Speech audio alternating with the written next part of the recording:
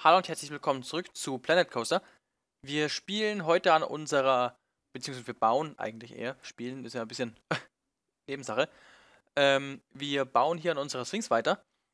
Ähm, momentan sieht sie nach wie vor immer noch so ein bisschen aus wie so ein, ja, wie ein Haufen eigentlich. sieht nicht großartig geformt aus und sowas, einfach nur hingeklatscht.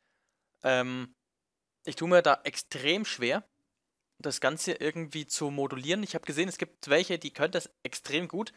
Ähm, der, wer war das? Ich weiß es gar nicht mehr. Auf alle Fälle hat einer von den Looney Tunes ähm, an, wie heißt er denn, an Texas, glaube ich, hat er geheißen, ähm, nachgebaut und das sieht wirklich Hammer aus. Ähm, so gut wie der, glaube ich, werde ich es allerdings nicht hinbekommen.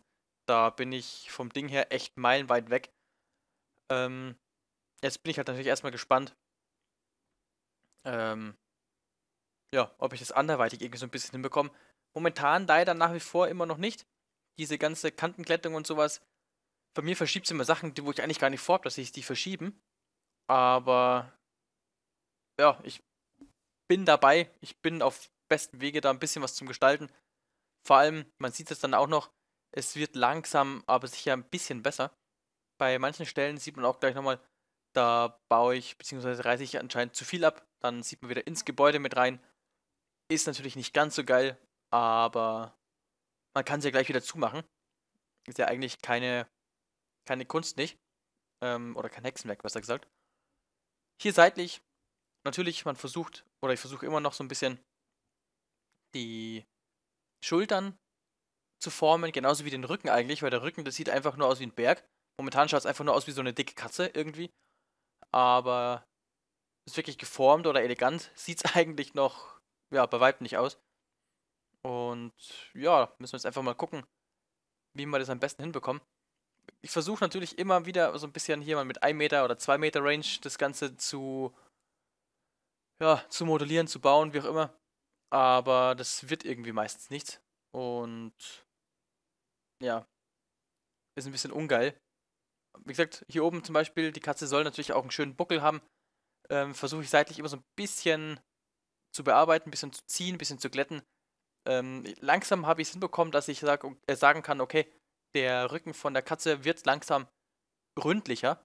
Und ja, also es wird ein bisschen. Der Fuß seitlich zum Beispiel, wie hier gerade, ist eigentlich auch so, sieht noch nicht ganz nach dem Fuß aus, meiner Meinung nach. Ähm, da fehlt noch einiges. Vorne die Tatzen müsste man natürlich auch noch mal ein bisschen bearbeiten, dass das ein bisschen nach, nach, nach Pfote aussieht. Ähm, das Problem ist, was man auch gesehen hat, manchmal baut man einfach ins Szenario mit rein. Allerdings die Option muss ich anlassen, dass ich ähm, das, die Szenerie nicht sperre. Sonst habe ich dazwischen immer mega lang ähm, keinen Platz mehr. Ähm, beziehungsweise habe ich zu viel Platz. Ähm, man kann einfach im Runden durchgucken und das ist eigentlich nicht Sinn der Sache. Das Gute ist, was man auch gerade noch gesehen hat, dass nebenbei die der Effekt ist eigentlich, indem man hier diese Holzding, ähm, Holz sage ich, indem man den Berg außenrum baut, ähm, habe ich glaube ich in der letzten Folge auch schon mal gesagt, es wird dunkler innen drin und das muss ich ganz ehrlich sagen, macht es eigentlich schon echt aus. Innen drin zum Beispiel, ähm, man sieht es jetzt zwar in der Folge nicht, aber allgemein, da wenn man, wie hier zum Beispiel am Tag ist, es ist extrem schön dunkel. Die Bahn, wenn vorbeifährt, ähm, die Effekte und sowas ist schon, ja, ist schon cool geworden, finde ich. Also wird sich noch einiges ändern. Vor allem ist ja jetzt eigentlich nicht nur die, nicht nur die Sphinx, wo sich ändert, sondern natürlich auch in der Grube die Pyramide. Ich habe es ja schon mal gesagt, ich werde da eine Pyramide bauen und ähm, so ein bisschen was ähm, schon zu sagen.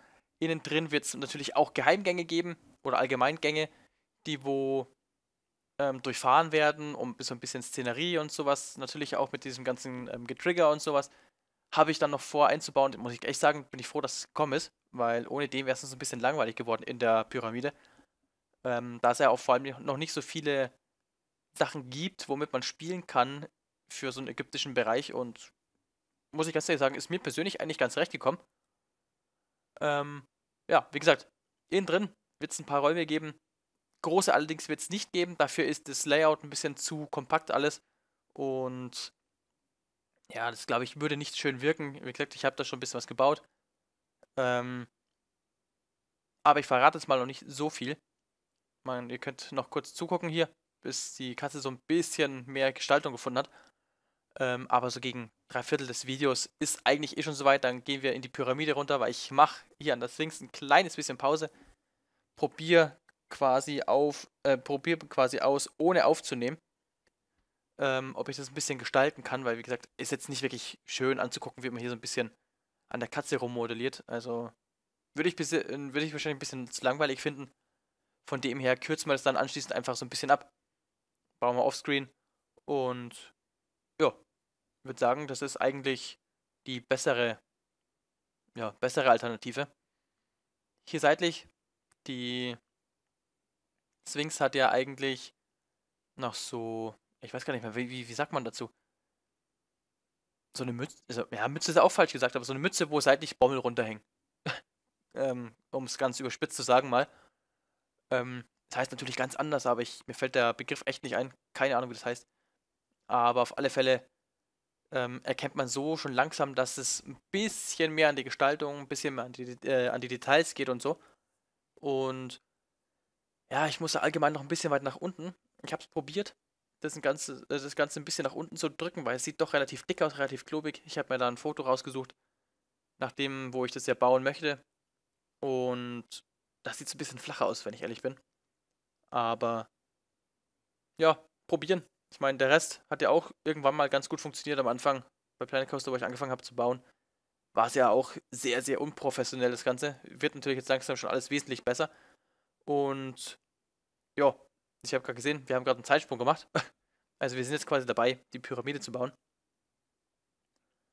Ähm, aber nochmal zurück. Ähm, am Anfang war es ja auch ein bisschen schwierig zu bauen und ich meine, ist mit dem Terrain genau das gleiche. Und ähm, wie gesagt, da macht einfach nur Übung den Meister und von dem her würde ich sagen, ist das eigentlich, was bis jetzt schon mal steht, für die kurze Zeit schon ganz in Ordnung. Ich meine, natürlich fehlt noch Feinschliff einiges. Ja, also wie gesagt, mal genug von der Sphinx. Jetzt machen wir hier bei der Pyramide weiter.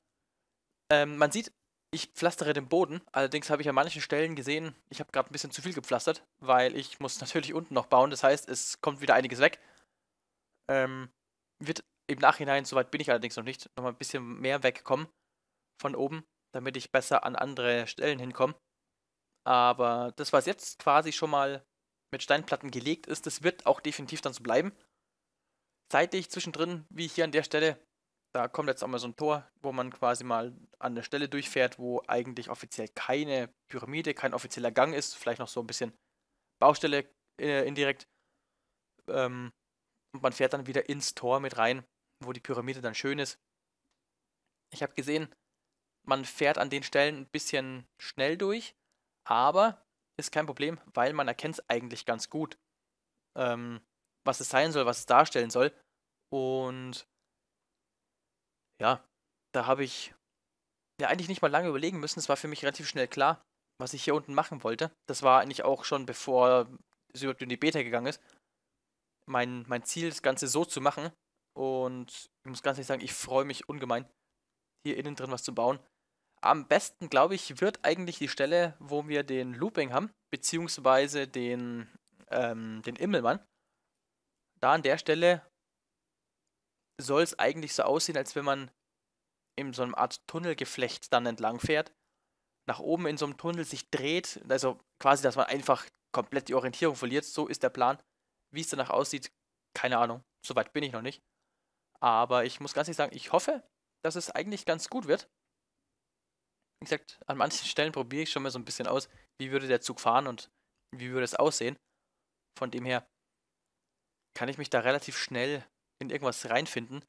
Wie gesagt, hier zum Beispiel, man sieht ähm, es wird langsam ein bisschen enger an der Stelle. Soll natürlich auch so Art, ähm, naja, wie sagt man das? Wie ist das in Pyramiden? Ist es auch meistens immer so eng, die ganzen Gänge und so.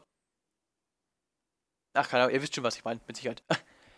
ähm, hier unten drunter, wo wir jetzt gerade sind, ist es, wo ich gesagt habe, dass der Boden oder die, der Raum nicht fertig aussehen soll. Das ist auch definitiv so geplant dass man unter ja, Ruinen vielleicht, könnte man, könnte man ausdrücken, dass man in Ruinen entlang fährt, kommen nochmal ein paar andere Steine mit dazu und um das Ganze nochmal so ein bisschen, ja, ein bisschen ansprechender wirken zu lassen. Jo, hier zwischendrin, man sieht es immer wieder, es wird immer mehr alles zugebaut. Manchen Stellen muss ich ein bisschen die Steine verschieben. Lässt sich einfach nicht, nicht ändern. Da unten machen wir dann zu. Soll ein geschlossenes System bleiben. Die Gänge selbst, wie gesagt, werden nicht wirklich groß. Also es ist eigentlich immer eher so in eng, äh, engen Gängen fahren. Dadurch wirkt das Ganze eigentlich auch nochmal wesentlich rasanter irgendwie. Ähm, obwohl ich noch nicht wirklich viel gebaut habe. Ich habe, oh Gott, zig ähm, On-Ride-Fahrten schon mitgemacht, einfach nur um zu gucken, passt es oder passt es nicht. Und ich finde, das passt eigentlich sehr gut sogar. Ja, ich sag danke fürs Zugucken. Das war es eigentlich schon wieder von dem Video. Ähm, hoffe, es hat Spaß gemacht. Hoffe, ihr bleibt mit dabei, wenn es jetzt dann in der Pyramide richtig weitergeht. Ich sag danke fürs Zugucken und bis zum nächsten Mal. Macht es gut.